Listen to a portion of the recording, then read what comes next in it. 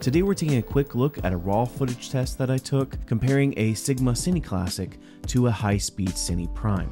The biggest difference you'll see between the Cine Classics and the Cine Primes is the Cine Classics will have a lower contrast and some amazing unique flaring to mimic that more vintage look or vintage style. Now while the Cine Classics are a T2.5, they do have the same shallow depth of field as the T1.5 Cine Primes due to the fact that the iris opening is the same size as the Cine Primes. But with that, what do you all think about the two lenses? Let me know know in the comments below.